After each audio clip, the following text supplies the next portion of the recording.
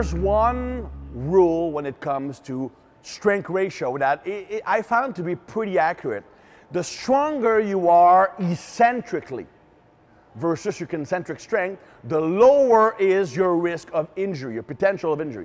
Uh, because the stronger you are eccentrically, the better you are at absorbing and controlling force. Now, the problem with modern strength training is that a lot of athletes and strength coaches alike focus so much on lifting strength, lifting performance, that you have athletes with a concentric strength that is way too high for their eccentric strength. Normally, eccentric strength should be 120, 140 even 200 in some athletes, but let's say ideally 140% of your concentric strength.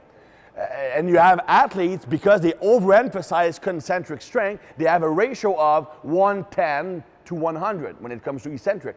And that increases the risk of injury tremendously. So the first benefit of including eccentric training in your workouts, either by utilizing weight releasers, using slow eccentrics, or the 2-1 technique, to allow you to emphasize the eccentric action, well, is that you will increase that strength ratio, decreasing the potential uh, uh, of injury. But there are other benefits to being strong eccentrically when it comes to an athlete. First of all, the stronger you are eccentrically, the better you will be at absorbing force. Let's say I'm sprinting or changing direction. Here's what happens. When I'm trying to change direction, I will step, absorb, stop, project. And that absorption, when my foot hit the floor and I'm absorbing my body weight, is eccentric strength. The stronger I am eccentrically, the less of an absorption force or absorption period I need. If I'm weak eccentrically, I need a long absorption phase that long absorption phase makes me slower because it takes me a lot more time to change direction.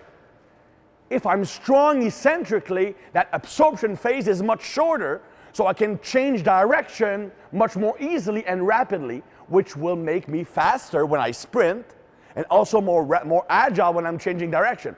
And of course, when you're getting hit, then your capacity to absorb force is really important. By the way, on a tangent because that's something I do.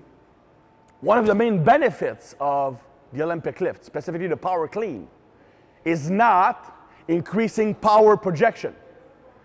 One of the main benefits for athletes of a power clean is learning to absorb force. I'm cleaning, boom, and I'm catching the weight in that athletic position. I'm teaching my body to absorb that 200, 300 pound weight and boom, and not crash under it. So as an athlete, it makes me a lot better at absorbing force. That's why when you're working with an athlete and you do power cleans, you don't accept someone who will catch a power clean like that. You always catch a power clean in the athletic position to have sport transfer. But let's get back to our topic, the, the role of eccentric strength in athletic. So it reduces the risk of injury by increasing the eccentric to concentric ratio, it makes you better at absorbing force, so you're faster during your change of direction, faster when you're sprinting. And it also constitutes a great way to increase the size, the thickness of the tendons. Eccentric training has been shown to increase hypertrophy of the tendons as well as the section of the muscle closest to the tendon, distal hypertrophy. And making those regions stronger and bigger will improve your capacity to absorb potential energy and use it to produce force, concentric force. So being, including eccentric work in your training over time will increase your potential to be strong and powerful. It might not do it instantly. It might not be as good as doing plyometric work or doing faster eccentric, but it, by building the tendons up, it makes you better in the future at being explosive. Another benefit is the thicker the tendons, the less protective your Golgi tendon organs will be. The GTOs, Golgi tendon organs, are, are structures in your tendons that sense when your body is producing force. And when it senses that you're producing too much force, it will inhibit force production so you don't tear yourself apart. But this mechanism is super conservative. That's why a non-trained individual can utilize maybe 30% of their strength potential.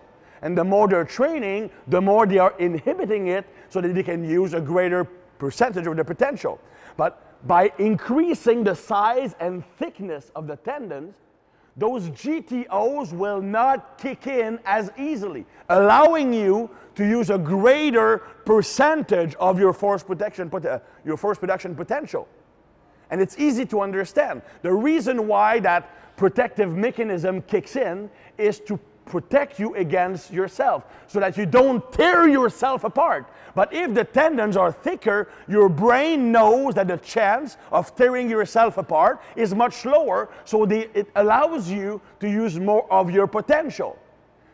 So that's another way it will increase athletic potential by making you capable of utilizing a greater percentage of your force potential. That's why you have those Olympic weightlifters who oftentimes don't even look like they're lifting, but they can clean and jerk 450, 500 pounds because they can use 90% of their force potential because those GTOs don't kick in as easily. And eccentric action can add that benefit by making those tendons thicker. So eccentric is important to reduce the risk of injury by improving the eccentric to concentric ratio.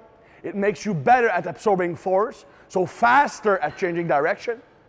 It also makes those tendons thicker, which allows you to store more potential energy that you can use during the concentric projection.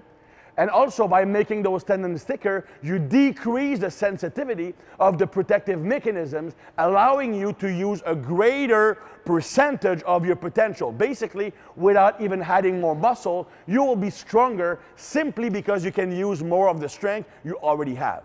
So that's why when you're designing a program for athletes, it's important to emphasize both concentric, isometric, and eccentric if you want maximum sporting performance.